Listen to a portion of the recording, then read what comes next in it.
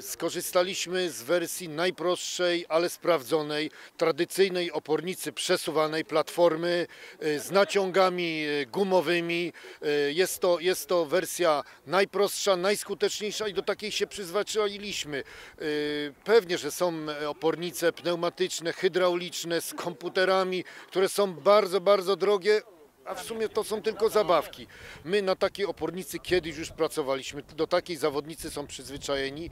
Jest ona na miarę naszych środków, y, może nawet nie na naszych, ale dzięki pomocy Veoli, na miarę pomocy drużynie Ekstraligi y, i wreszcie mamy to, to urządzenie, urządzenie specjalistyczne, bez którego nie da się pracować na najwyższym poziomie i bez którego młyn nie, będzie, nie byłby w stanie się przygotować do najważniejszych meczy. W ostatnim czasie y, pracowaliśmy na pożyczonej opornicy, a, ale drużyna spółki akcyjnej y, będzie wreszcie, znaczy nie będzie, już posiada własną opornicę dzięki naszemu y, głównemu sponsorowi Veoli. Znaczy jest to, nie ukrywam, niezbędny sprzęt do tego, abyśmy mogli się prawidłowo przygotowywać do tak ważnego elementu, jakim jest młyn zwarty.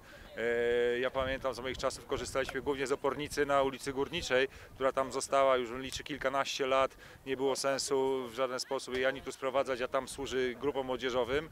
Ostatni rok korzystaliśmy, przez pół roku pożyczyliśmy opornicę od y, AZS-u AWF-u Warszawa, która musiała zostać zwrócona w zeszłym sezonie.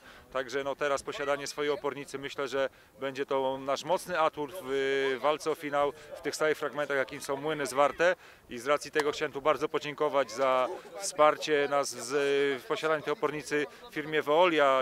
Od 10 lat jest naszym sponsorem i teraz również nas w tak ważnym momencie wsparła. Myślę, że tak tutaj jest duża szansa dzięki temu skutecznie walczyć z Arką i z Lechią w młynach zwartych i powalczyć o to upragnione mistrzostwo.